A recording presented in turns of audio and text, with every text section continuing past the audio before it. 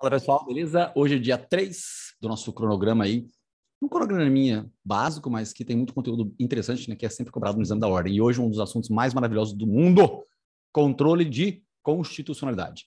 Eu acho que essa matéria, acho não, né? Essa é a matéria que, graças a Deus, me ajudou muito com o meu cursinho, porque é um assunto que os alunos acabam adorando, um assunto que todo mundo odeia na prática, né, dos dias dos estudos, tanto na faculdade, tanto quanto depois para concurso público, mas quem passa por aqui aprende constitucionalidade comigo, aprende né, o direito constitucional comigo, aprende direito administrativo comigo, e aí depois, ó, só decola, só decola quem realmente tem a, está afim né, de aprender.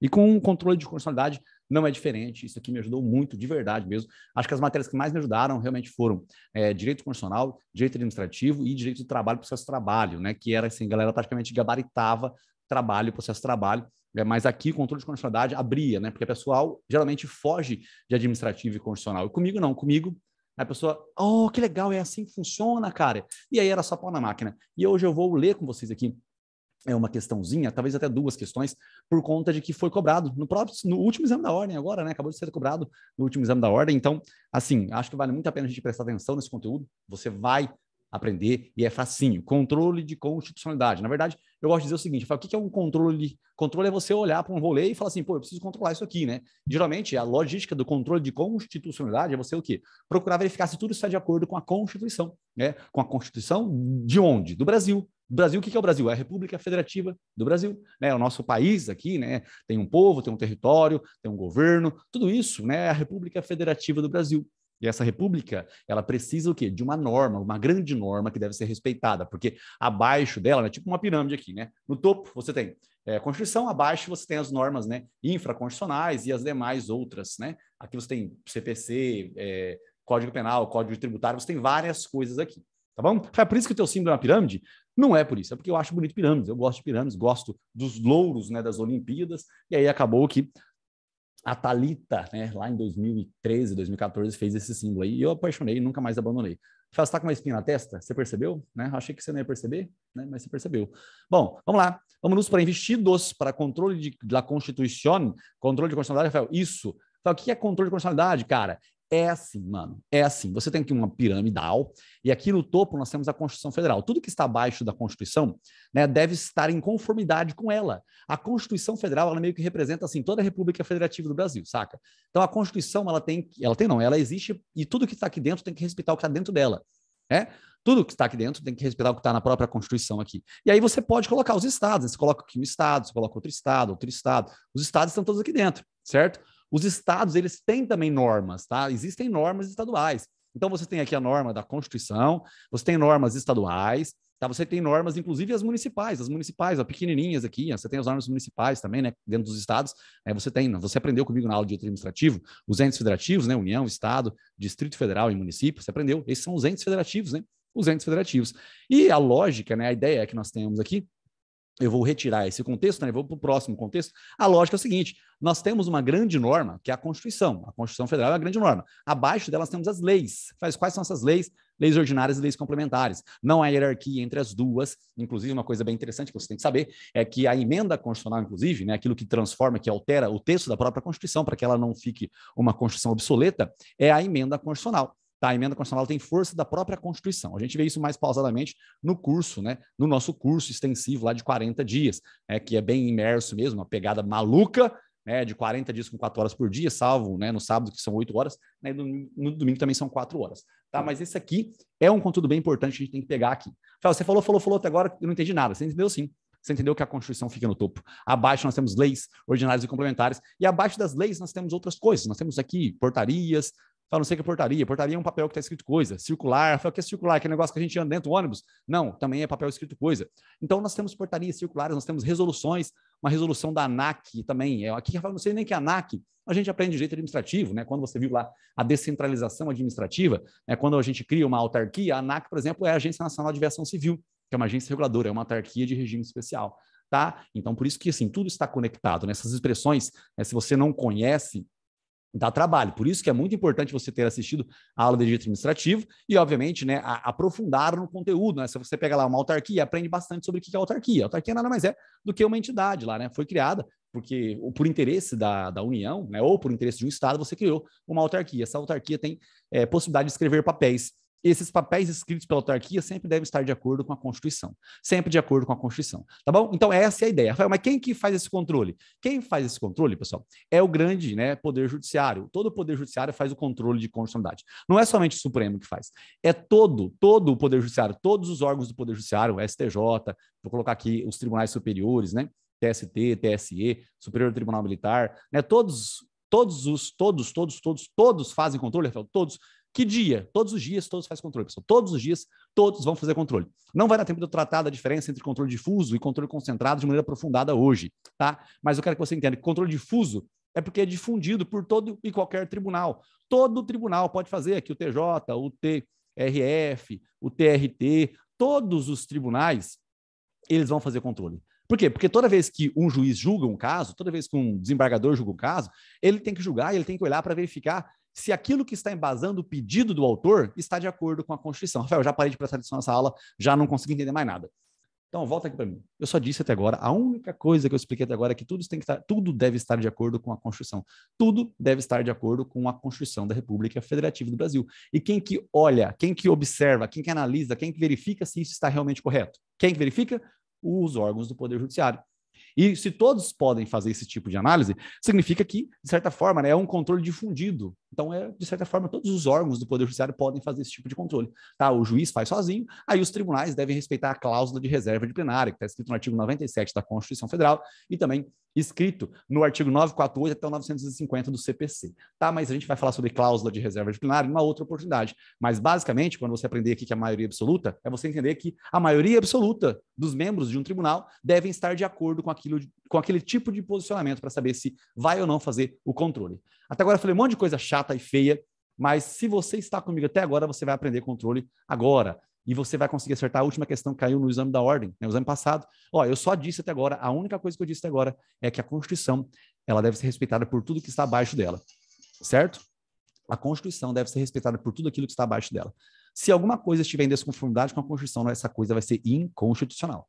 Tá bem? Beleza? E quem faz o controle? Todos os órgãos do Poder Judiciário. Fala, mas não existe um negócio que somente o Supremo faz? Então, gente, aí que está a ideia, né? Aí que está a ideia. A ideia é o seguinte: o STF, ele, de certa forma, quando ele vai julgar alguma coisa para verificar se ela está de acordo com a Constituição, ele faz de maneira direta. Então, alguém faz uma ação direta, certo? Ação, alguém faz uma ação direta no STF. Alguém vai fazer uma ação direta aqui no STF. Fel, uma ação direta? Sim. A ação direta vai ser feita no STF. Fel, por que, que é ação direta no STF? A ação é feita diretamente no STF porque você busca diretamente dizer para o STF que a lei está em desconformidade com a Constituição. Fel, qualquer um pode fazer uma ação direta no STF? Não. Por exemplo, eu e você, nós não podemos fazer direto no STF. Nós temos que passar pelo juizinho aqui embaixo. Ó. A gente tem que começar aqui. Eu e você, nós podemos fazer aqui, ó, aqui embaixo. Nós podemos pedir que uma lei é inconstitucional aqui de baixo. Ó.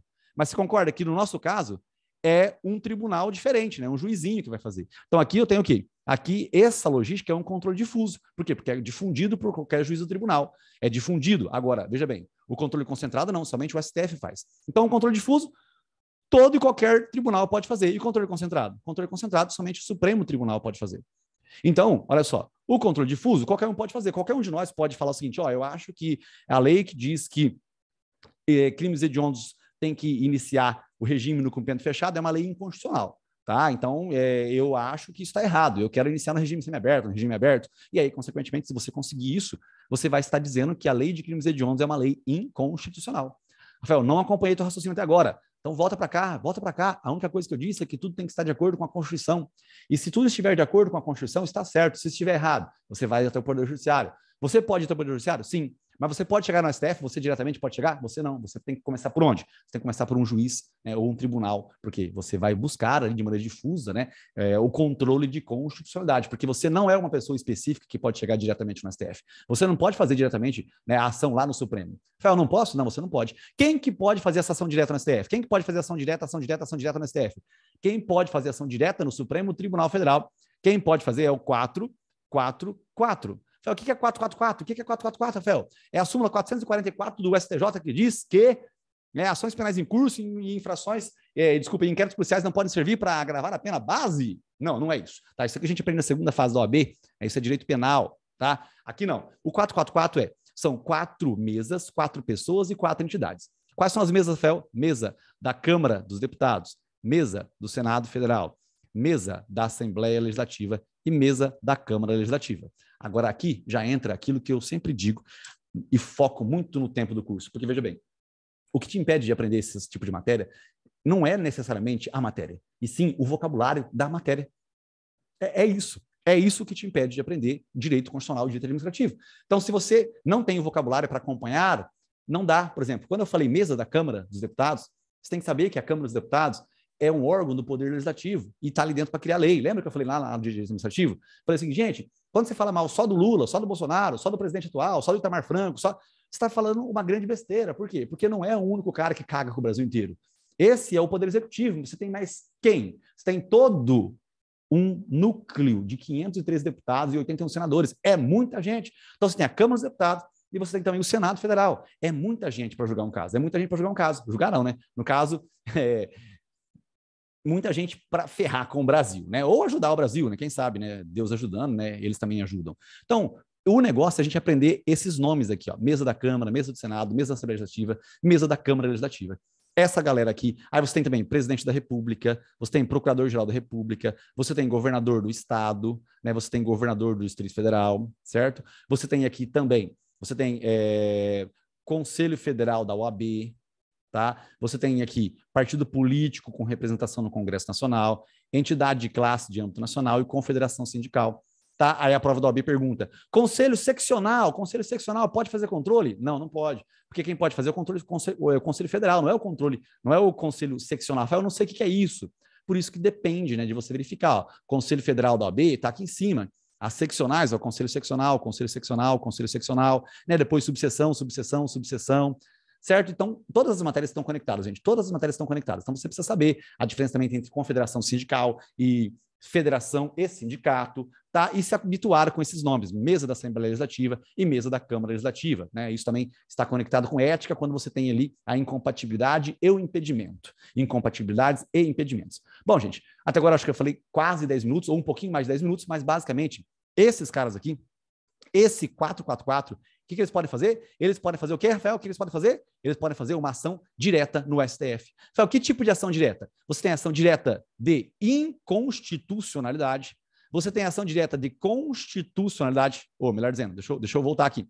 Você tem uma ação né, declaratória de constitucionalidade, uma ação direta de inconstitucionalidade e uma arguição de descumprimento de preceito fundamental. Rafael, pronto, cagou tudo comigo. Não, não cagou não. Eu só coloquei que para você que era o quê? Era uma ação direta feita no STF e agora eu disse o nome delas.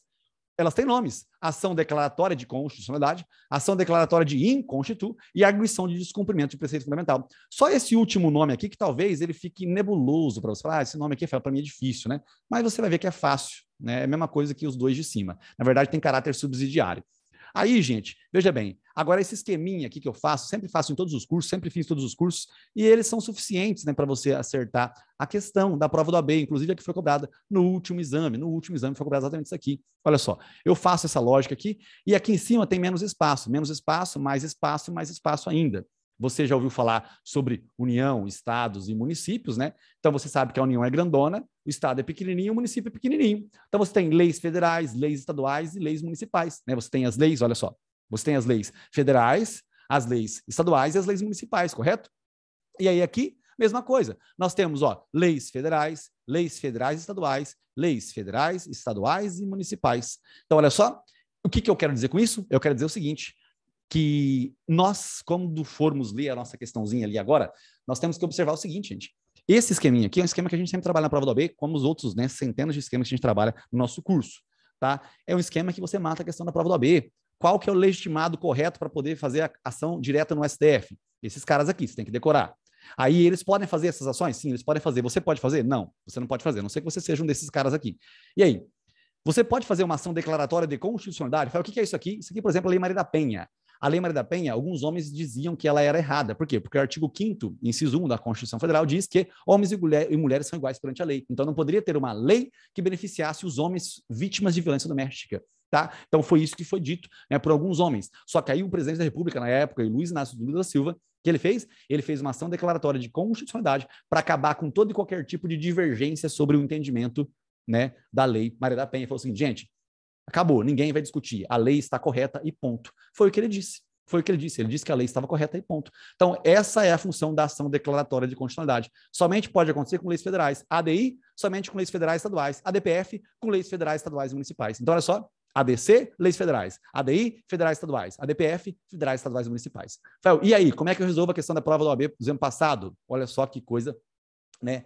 Ridiculamente fácil. Olha só. O governador do estado Alfa propôs. Ele pode propor? Pode, porque ele é um dos legitimados. Né? Ele é o governador do estado propôs perante o STF né, ação declaratória de constitucionalidade. Ele propôs que uma ADC, com o pedido de tutela cautelar. Lógico que eu não expliquei para vocês o que é isso aqui ainda, tá? Mas é simplesmente você, por meio de maioria absoluta do tribunal, fazer com que os efeitos sejam imediatos. Para ver, com, ver confirmada a legitimidade jurídico-constitucional de dispositivos da Constituição Estadual. Então, olha só, o governador do estado Alfa propôs uma ADC para falar o seguinte, gente, as normas que estão na nossa Constituição do Estado, elas são corretas, tá? Isto em razão da recalcitrância de órgãos jurisdicionais na sua observância. Ou seja, recalcitrância é uma palavra desgraçada que está aqui, né? Assim, que caralho de palavra que é essa aqui, Rafael? Eu não sei o significado dela. Aí é prejudicial. Se você não sabe o significado, dá trabalho. Mas é uma ideia de um desconforto. As pessoas não, não, não, estão acolhendo a ideia de que aquela lei é uma lei correta, uma lei boa, tá? Uma norma legal. Bom, a partir do caso narrado, a cenário afirmativo correto. Então, olha só, nós tivemos aqui o quê? Vamos, vamos ver. Nós tivemos o governador, né, que está aqui, ó, o governador do estado, ele propôs uma ação declaratória no STF sobre as leis, né, sobre as normas do Estado. Ele podia ter feito isso aqui? Ele podia ter feito né, isso aqui? Leis estaduais ou a Constituição do Estado, normas do Estado. Ele poderia ter feito uma ADC? De acordo com esse meu desenho aqui, olha só, de acordo com esse meu desenho, você pode fazer ADC com leis federais, você pode fazer ADI com leis federais estaduais, e você pode fazer a DPF com leis federais, estaduais e municipais. Então, ele fez ou ele fez correto ou ele fez incorreto? Fez correto ou ele fez incorreto? Fez correto ou fez incorreto? O que, que ele fez? Será que ele estava certo de fazer essa ADC? Será que o STF podia ter observado o caso para verificar se essa era uma norma certa ou errada? Então, olha só, a ADC pode ser conhecida e provida pelo STF. Pode ou não pode, gente? para que venha a ser declarada a constitucionalidade dos dispositivos da Constituição do Estado Alfa. Pode ou não pode? Não pode. Por que, que não pode? Porque a ADC é somente de leis federais. Embora a ADC proposta pelo governador do Estado Alfa possa ser, possa ser conhecida e julgada pelo STF, revela-se incabível o deferimento de tutela cautelar. Não, pode ter sim tutela cautelar de urgência, pessoal, pode ter, tá? Mas o STF não pode conhecer dessa ação. A admissibilidade da ADC prescinde, essa palavra aqui é extremamente essencial, tá? Significa dispensa a existência de requisito da controvérsia judicial relevante? Não. É extremamente essencial, é essencial a controvérsia judicial relevante. Tem que ter controvérsia. O que é? O que é controvérsia judicial relevante? É isso aqui, ó. É essa recalcitrância, é essa, essa discussão dos órgãos jurisdicionais. Tá? Essa palavra, olha só. A palavra prescinde, ela realmente acaba com os alunos, né? Acaba com estudantes, porque significa não precisa, e aí você acha que significa precisa, e aqui está escrito o quê? Que a ADC dispensa a necessidade de controvérsia judicial. Na verdade, é, a ADC feita pelo, pelo Luiz Inácio Lula da Silva, porque homens reclamavam da, da certeza da validade da norma da, da norma da Lei da Penha, da Lei 11.340 de 2006, tá? Fez 15 anos agora há pouco, né? É, 15 anos ano passado fez, né? É, então, essa norma tinha que ter relevância, tinha que ter controvérsia, e teve controvérsia judicial sim, e aí por isso que pôde ser feito né, uma ADC pelo Lula, no caso de uma lei federal. A ADC é leis federais, a ADI, leis federais estaduais, a DPF, leis federais, estaduais e municipais. E aqui a última, a ADC não consubstancia a via adequada à análise da pretensão formulada, uma vez que a Constituição do Estado Alfa não pode ser objeto do controle em tal modalidade. Tá certo, não pode. Não pode, gente, não pode. Não pode. É essa daqui a correta, Rafael? Essa aqui é a correta. Por que, Rafael? Porque nós vimos aqui, ó. Nós vimos aqui, né, nesse nosso desenho, bobinho aqui, nós vimos o quê? Que você pode fazer ADC somente de leis federais, ADI somente de leis federais estaduais, ADPF de leis federais, estaduais e municipais. Quem pode fazer? O 444. Beleza. Maravilha, Rafael. O que nós vimos também? Nós vimos que não somente o Supremo pode fazer o controle, mas também além do Supremo Tribunal Federal, quem também pode fazer o controle de constitucionalidade são todos os outros órgãos né, do Poder Judiciário. Só que eles vão fazer né, de maneira difundida, né, difuso a eles. Né? Nós podemos fazer um pedido. Né? Por exemplo, você pode falar que a medida provisória que determinou o resgate da população pública pelo Fernando Collor de Mello era uma medida provisória inconstitucional. Rafael, não sei o que é isso ainda. Cara, se você acompanha essa aula até agora, eu espero que você tenha acompanhado, porque você já começou a confiar no meu trabalho, deixa eu falar uma coisa para você. O que talvez tinha, tenha te impedido de realmente acompanhar todo o raciocínio dessa aula não foi o raciocínio da aula, e sim as palavras. Essas expressões, governador do estado, governador do DF, pre, é, prefeito, Assembleia Legislativa, mesa da Assembleia, mesa da Câmara, Conselho Federal da OAB, Confederação Sindical, né? Controle, controle, controle, controle, controle, essas expressões te injuriam, né? Você tem uma recalcitrância com relação a esse vocabulário jurídico. Existe aí uma relevante controvérsia de vocabulário, porque você não gosta dessas palavras. Essas palavras te enchem o saco, tá? Então, isso te impede, pessoal, te impede né, de realmente matar uma matéria que é muito fácil. É muito fácil. Aqui espero que não tenha dado 20 minutos, porque a galera corre de vídeo de 20 minutos, né? É nóis, gente. Foco, força fé, farra depois de muito tudo. Um beijo no magro e parabéns pela busca do conhecimento. Tamo junto até amanhã. Tchau.